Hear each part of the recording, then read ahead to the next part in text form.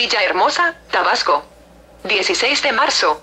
Al celebrar la resolución del Tribunal Electoral del Poder Judicial de la Federación que avala el registro de la coalición Movimiento Progresista por Tabasco, el dirigente estatal del Partido de la Revolución Democrática, Roberto Romero del Valle, subrayó que esto es una muestra fehaciente de que tanto el Instituto Electoral y de Participación Ciudadana de Tabasco, como el Tribunal Electoral de Tabasco, no son garantes de un proceso comicial democrático. En rueda de prensa concedida ayer en la sede solastiquista, Romero del Valle insistió en que se tiene que poner un hasta aquí a las malas decisiones del Consejo Estatal, destituyendo al secretario técnico del órgano electoral, Armando Javier Maldonado Acosta,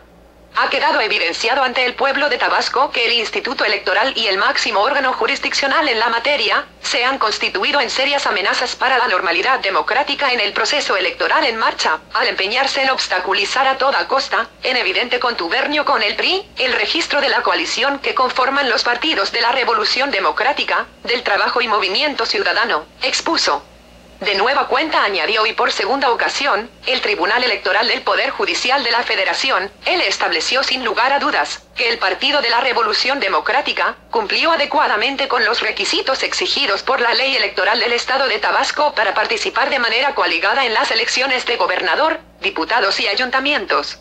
hizo un llamado a los diputados integrantes del Congreso del Estado, para que a fin de proteger las instituciones públicas, así como los intereses de los tabasqueños, procedan a través de los mecanismos legales establecidos, a la destitución de los magistrados del Tribunal Electoral de Tabasco, y consejeros del Instituto Electoral y de Participación Ciudadana de Tabasco, y en su lugar, designen personas de probada solvencia moral y profesional que garanticen un proceso electoral democrático.